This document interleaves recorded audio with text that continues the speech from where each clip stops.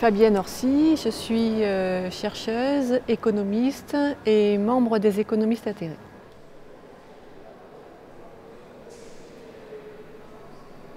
Je pense qu'il y en a plusieurs. Il y a la première, euh, bon, je sais pas, vous avez, vous avez peut-être dû en discuter déjà, mais euh, il y a une, grande loi, en tout cas ce qui concerne l'hôpital, la fameuse loi hôpital, patient, territoire de 2009, euh, qui en fait a instauré, qui a marqué une rupture en fait en ce qui concerne l'hôpital, notamment en termes de ce qu'on appelle la gouvernance de l'hôpital, qui a été et qui en même temps a mené ce qu'on a appelé le nouveau management public à l'hôpital et qui a eu pour conséquence importante en, disant de manière schématique, de déconnecter euh, le travail de soins et la question de comment on gère un hôpital et comment on l'organise. Voilà. Et puis surtout, ça a été euh, une coupure franche avec euh, la gouvernance telle qu'elle était auparavant, qui n'était pas d'ailleurs forcément absolument celle qu'il faudrait réinventer aujourd'hui, hein, puisque c'était une gouvernance où il y avait un partage des pouvoirs entre la direction, euh, la, le la commission médicale d'établissement, qui est le pouvoir médical en fait, et puis euh, le conseil d'administration, euh, où siégeaient en particulier les élus, mais pas seulement, locaux, locaux, enfin au niveau municipal en fait. Et donc cette loi-là a mis un, un stop à ce genre d'organisation pour des tas de raisons sur lesquelles on pourrait revenir et a donné tout pouvoir en fait euh, aux directeurs d'hôpitaux et en même temps a, imposé ce qu'on appelle le nouveau management public. Ça c'est la première des choses, mais avant ça il y avait eu une nouvelle, nouvelle forme de financement, une nouvelle modalité de financement à l'hôpital qu'on appelle le financement euh, à l'activité. Et donc finalement on a financement et euh, nouveau financement et nouvelle gouvernance qui vont en fait marquer une rupture très significative et qui va permettre d'expliquer la situation dans laquelle on se trouve aujourd'hui en ce qui concerne l'hôpital. Mais la santé, le soin, ce n'est pas uniquement une histoire de gouvernance ni une histoire d'hôpital, c'est aussi, euh, aussi ce qui se passe dans la cité, ce qui se passe dans la ville. Et là, en fait, il faudrait remonter à, à bien plus que la loi HPST parce qu'il y a toujours eu en fait une scission très forte entre la ville et l'hôpital et euh, notamment aussi avec la question de la médecine libérale, le secteur 2. Donc en fait, euh, finalement, tel que ça s'est constitué en France, il y, a, toujours eu quelque part des, choses qui, euh, qui, posaient problème. Et puis peut-être surtout un point important, c'est aussi de dire que, enfin en tout cas ce qui est important pour nous, de ce qu'on va essayer de retrouver dans ces ateliers, c'est la question de qu'est-ce que c'est que le soin en fait.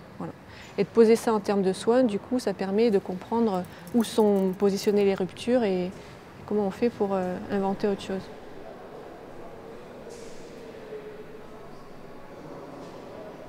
Ce qui est le plus compliqué, c'est d'arriver à faire euh, en sorte que cette démarche par les communs, en fait, soit audible pour euh, les gens qui travaillent à l'hôpital parce que pour la plupart, ils ne savent même pas de quoi on parle.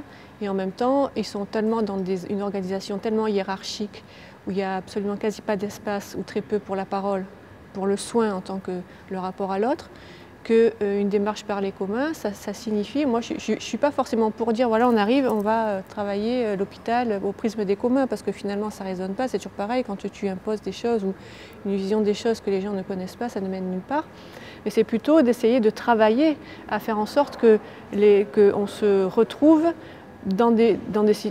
avec nos spécificités et nos différences, à refaire travail commun, j'ai envie de dire, mais que ce soit à l'intérieur de l'hôpital et à l'extérieur de l'hôpital. Il y a quelque chose qui s'est dégagé, je trouve, de ces ateliers, il y a plein de choses qui sont dégagées, mais je pense que ces ateliers ne peuvent être réalisés que parce que ce sont des gens, et comme moi en particulier, de l'extérieur, qui les, tiennent et qui les, et qui les, impulsent. Voilà.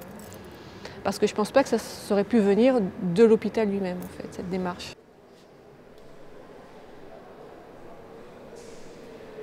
Oui, mais ça, ce n'est pas forcément l'approche par les communs qui va l'apporter, parce que les discussions que certains collectifs uniquement de soignants ont, euh, ça, fait, un moment que certains d'entre eux ont, effectivement cette idée qu'il faut de cette mainmise d'un langage qui les a dépossédés de leur savoir-faire et de leur métier, et, euh, de comment faire, euh, d'avoir cette conscience-là. D'ailleurs, très peu sont ceux qui ont cette conscience-là, hein. ou alors il y en a certains qui en ont conscience et qui s'en acclimatent très bien au final.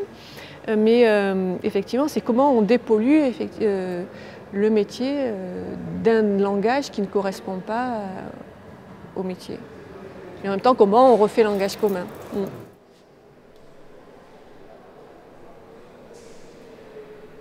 Bah, moi, je n'ai pas la solution euh, toute faite en ce qui concerne les collectifs de soins, mais justement, le travail qu'on a engagé dans ces ateliers, c'est ça que je trouve intéressant, c'est qu'à partir d'expériences concrètes, soit de travail empêché, soit de travail qui justement ne sont plus empêchés, du travail des gens qui n'est plus empêché et qui réussissent de fait à retrouver sens euh, dans leur métier, on s'aperçoit en fait que quand ça arrive, c'est quand ils réussissent à refaire euh, collectif justement, du travail d'équipe, mais du travail aussi avec le patient qui est au centre, le soigné qui est au centre, comment ils remettent de la parole, du langage euh, commun dans ces collectifs de soins et euh, comment aussi ils redeviennent euh, accueillants et comment ils redeviennent soignants en fait. Donc, et ça, je trouve que depuis cet atelier de Marseille était bien plus riche par rapport à, à, Montreuil qui était le premier.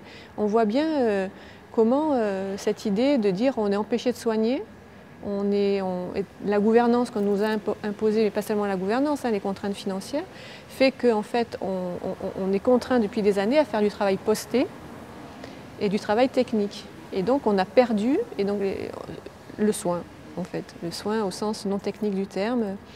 Et euh, refaire collectif de soins, réinventer collectif de soins, c'est ça. Et donc, on voit bien que c'est complètement aussi lié à la question de la gouvernance.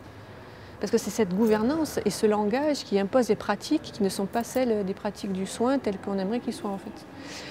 Et euh, du coup, c'est pour ça que nous, on veut repartir de la question des collectifs de soins. Comment on refait collectif de soins pour ensuite réfléchir à une autre gouvernance qui soit, qui corresponde en fait à ces collectifs de soins et pas l'inverse en fait. D'ailleurs, ça c'est intéressant parce qu'on peut faire un, rapport là, à la question des logiciels à l'hôpital. Et euh, ce qui est intéressant, c'est que euh, on a eu une intervention du collectif Interop qui essaie de promouvoir les logiciels libres, qui, d'ailleurs se mobilise contre la privatisation des données en santé. Et on sait très bien euh, à quel point toutes les données médicales sont en train de partir, en, particulier euh, aux États-Unis avec les contrats que la France a signés avec Microsoft. Et qui en même temps pointait le fait que les logiciels qui sont la plupart du temps utilisés dans les hôpitaux, parce qu'il y a énormément de logiciels utilisés, sont des logiciels propriétaires qui valent très très cher et qui pour la plupart d'entre eux ne sont pas du tout adaptés au travail du soin. Euh, et, là, tu on, on, retrouve cette, question de repartir euh, d'en bas et, en même temps comment faire collectif de soins. C'est que dès lors, par exemple, les logiciels libres pourraient très bien contribuer euh, à faire aussi collectif de soins, dès lors qu'en fait ils permettent, c'est pas parce qu'ils sont libres, c'est surtout parce qu'ils permettent de travailler, bah oui, c'est parce qu'ils sont libres de travailler sur le code, et que l'idée serait que les informaticiens de chaque hôpital, donc c'est délocaliser en fait, délocaliser en fait les, la question de, l'informatisation des données de santé, euh, que les informaticiens de l'hôpital, de chaque hôpital ou de chaque région, euh, produisent des logiciels libres du coup et qui puissent les adapter au fur et à mesure de travailler avec les soignants, qui soient adaptés à leur pratique en fait.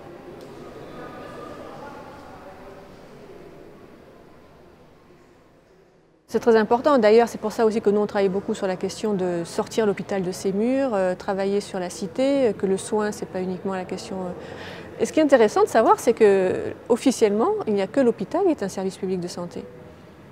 L'hôpital public, en l'occurrence. bon, certains hôpitaux privés à but non lucratif ont aussi, enfin bon, il faudrait revenir sur l'histoire des lois, mais bon, ont aussi cette appellation de, de mission de service public, mais le service public de santé, c'est uniquement l'hôpital. Or, on, comprend bien que la question de la santé, du soin, euh, n'est pas uniquement euh, centrée sur l'hôpital. Donc, si on veut repenser la question du service public de santé à partir des communs, et en y incluant l'hôpital aussi. C'est très intéressant du coup parce que ça veut dire aussi de comment on, invente un service public qui ne soit pas uniquement euh, ce service public euh, tel qu'on le connaît, décrété euh, par une loi et tout ça, mais comment on organise un service public de santé, c'est-à-dire qu'il soit accessible à tous, par le plus grand nombre, mais qui soit aussi en ville et qui, soit, qui, peut, être aussi organisé via des centres de santé communautaires ou même via des centres de santé publics, mais en lien avec des associations. Donc c'est ça aussi inventer un nouveau service public de santé. Et c'est pas quand on dit public, l'idée étant, puisque moi je travaille pas mal là-dessus, c'est que quand on dit public, on ne dit pas forcément sous la coupe de l'État en fait. C'est ça qui est intéressant, il me semble. Et donc cette approche par les communs permet aussi de nourrir euh, une telle, euh, une telle réflexion. Mais il y a aussi, par exemple, la, psychiatrie de secteur, dont vous avez dû en entendre parler, ou, qui nous aide aussi à penser ça. Quoi qui est détruite, absolument détruite. Mais dans ses principes même, c'est aussi euh, comment on a continuité du soin, euh, soit par la même équipe, dans l'hôpital ou en dehors de l'hôpital. Et tout ça, ça relève, en fait, de mon point de vue, d'une approche par les communs.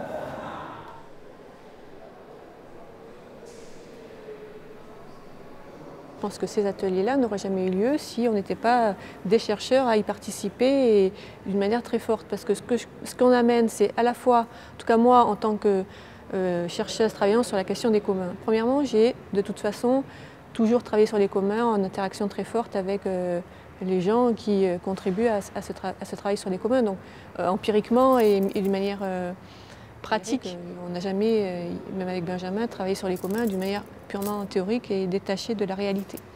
Donc là, finalement, on est en prise directe avec les gens qui travaillent dans, dans le domaine de la santé, dans l'hôpital, mais hors de l'hôpital. Et en même temps, on, la recherche amène ce temps long, cette méthode, de, cette, comment on réfléchit ensemble, comment on travaille ensemble. donc je ne pense pas que des soignants seuls auraient pu inventer quelque chose comme ça. C'est-à-dire qu'ils n'auraient pas pu inventer cette manière de travailler. Donc je ne suis pas persuadée qu'ils en aient forcément conscience, ou, oui peut-être, mais moi je pense qu'on amène ça, et en même temps on amène ça en tant que chercheur travaillant déjà sur le champ des communs. Parce que ce n'est pas, je pense, n'importe quel chercheur qui peut aussi être en, interaction très forte avec, euh, avec les, gens qui, dont c'est la pratique en fait. Et en même temps, il y a une, il y a une, on se nourrit d'une manière, euh, manière mutuelle. Il s'agit pas, je n'ai pas cette posture de dire je vais vous amener euh, ma connaissance sur les communs ou ma méthode de travail et puis vous allez l'appliquer. Non, pas du tout, au contraire, c'est vraiment un échange. Et, et ça crée, à mon avis, ces ateliers en fait.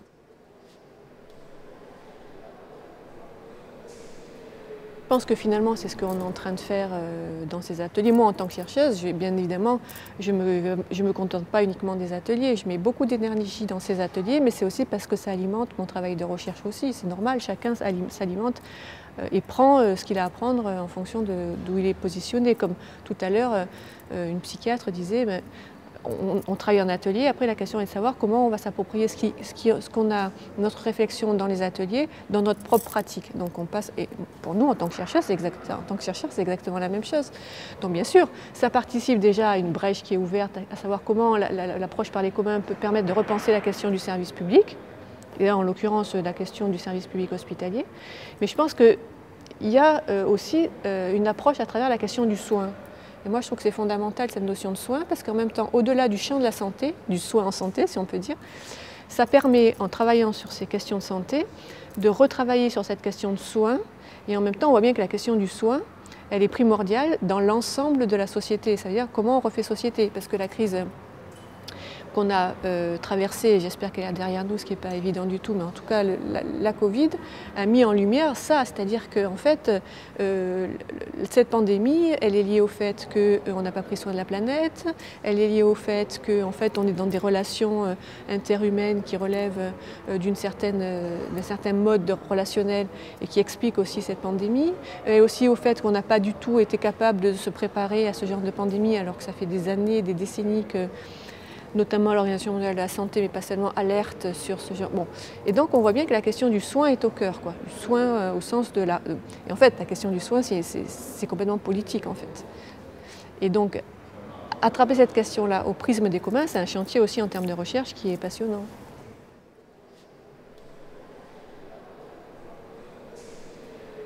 La question euh, des approches féministes dans le champ des communs, euh, permet aussi d'interroger ce qui. enfin, je pense que c'est quelque chose qu'il va falloir qu'on ne l'a pas encore vraiment mobilisé, mais là je vois qu'en progressant sur ces questions-là, euh, y compris dans le cadre des ateliers là qu'on vient de mener, je pense que ça va être très important de mobiliser. Alors moi j'ai un peu du mal avec, d'un côté on parle de soins et de l'autre de care pour faire la distinction, parce qu'en France on a trop l'habitude d'associer euh, soins à l'acte médical en tant que tel.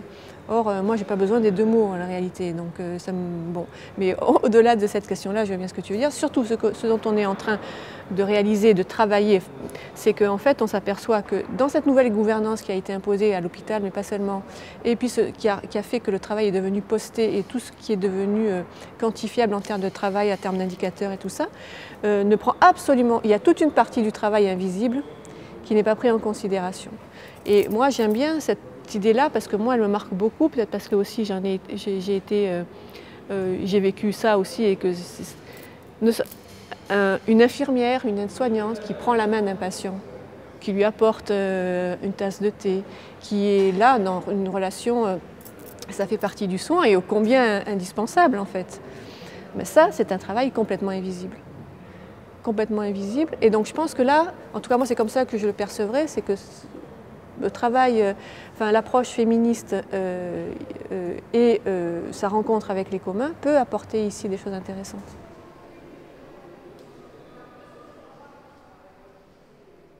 J'aimerais beaucoup que l'on puisse continuer, qu'on puisse faire d'autres ateliers. Parce que je pense qu'on a vraiment une singularité, on en a discuté à la fin de l'atelier, on a vraiment une singularité qui est d'abord de mettre en présence des gens qui n'ont pas l'habitude de parler ensemble, y compris des soignants, hein, parce qu'en fait on se rend compte que euh, sont, enfin c'est pas qu'on se rend compte, on sait qu'ils sont très cloisonnés, mais ne serait-ce que dans les ateliers qu'on a menés, notre groupe, ne serait-ce que notre groupe de travail lui-même, il est fait de personnes vraiment différentes et qui ont appris d'ailleurs, on a tous appris les unes des autres des psychiatres qui ont parlé avec des anesthésistes. Et donc chacun a appris. Et donc c'est ça, moi je trouve la richesse de nos, ateliers, c'est ça.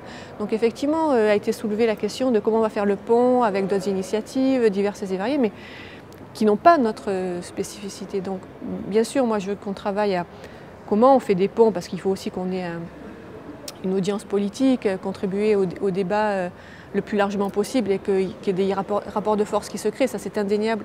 Mais en même temps, moi j'espère que ces ateliers tels qu'ils sont vont continuer. C'est-à-dire qu'on va en fixer, on n'a pas fixé de date là, mais en fixer un troisième, un quatrième.